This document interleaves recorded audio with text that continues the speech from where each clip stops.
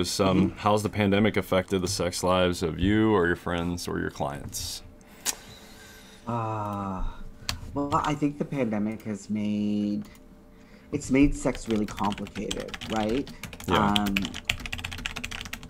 you know, it's so hard to talk about sexual risk on its own, mm-hmm. and then when you include the pandemic, um, nothing's really nothing's really safe. Like, you know, for example, if I am having like if we were talking just STIs and it wasn't pandemic time, uh, and somebody said, "What has your risk been like?" I can say, "Oh, you know, I had condomless sex with this person, but I'm on PrEP," or um, I've had oral with a few people, no barriers, um, but also no symptoms. Right, that is very clear. Mm-hmm. But now with the pandemic, if if the quarantine time is 10 days to 14 days and I've seen a friend recently and I hugged them or I went to the grocery store even though I wore a mask, I pretty much my window is 10 days where I don't know, where I could be looking for Yeah. like I I can't tell somebody, "Oh, you know, like uh I for sure don't have any COVID symptoms."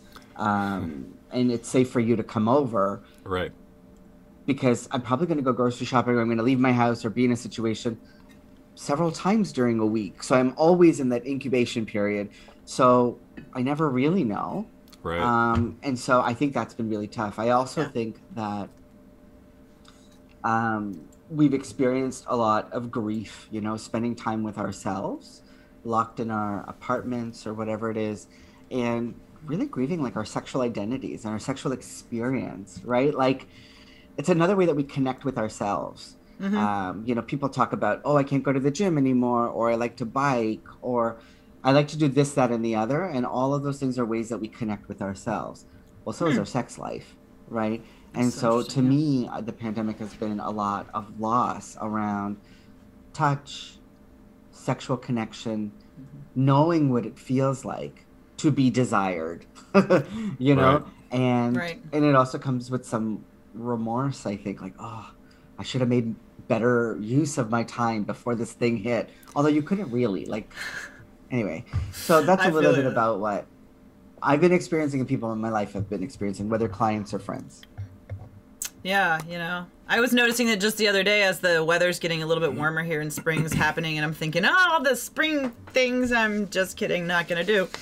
But how I don't feel sexy because a big part of feeling sexy was when I would put on, you know, a little bit more dressed up clothes even, and just like go shopping. Go, you know, Yes.